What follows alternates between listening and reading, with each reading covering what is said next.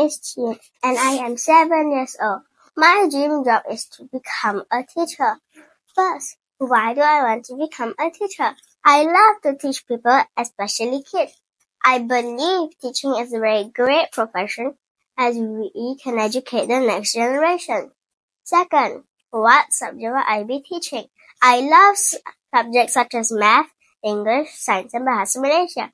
But my favorite one is English, so I'll become an English teacher. Third, how to become a teacher. I will enroll myself in a four-year bachelor degree program to become a teacher. My tools are pen to copy down notes,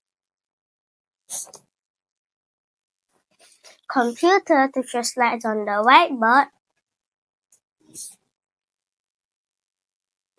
flashcards for students to learn new words,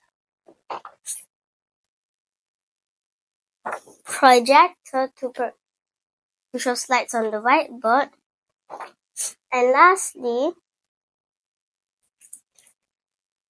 whiteboard to write down notes for the students.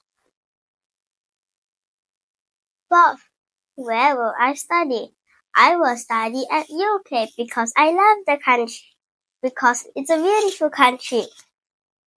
Fifth, who will support me? My parents will be people supporting me all the way through in terms of spirit and financially. I do hope that I get a scholarship. This way is my parents' responsibility. Six, But what I need to do? I will work hard to make my dream come true. Thank you.